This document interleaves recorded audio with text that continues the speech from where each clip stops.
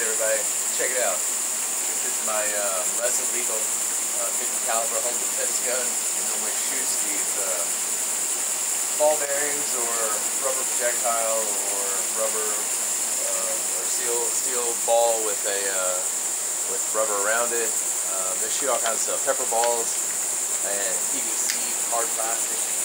Well anyway, I started thinking what else could shoot out of it. So I made this. I have no idea what it's about to do.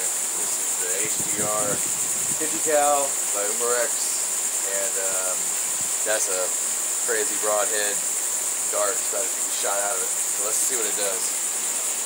Should we turn the laser on for effect? Oh yeah, here we go.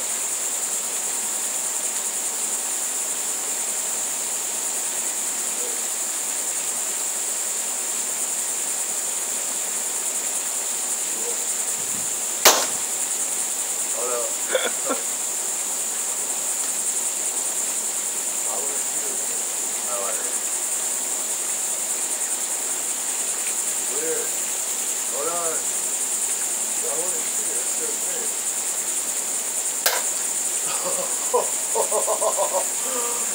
worked really well.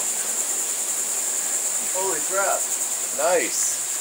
Took me a minute. I think the uh, the arrow was actually getting trapped in, in the cylinder. I didn't realize it why it wouldn't fire because the cylinder wouldn't rotate. Um, so uh, a success that never happens, and no one was injured.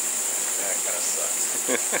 but uh, anyway, there you go. Sorry, Tiki dude. Sorry, Tiki man. We had to do this uh, for science, and uh, you were the victim. You needed some acupuncture.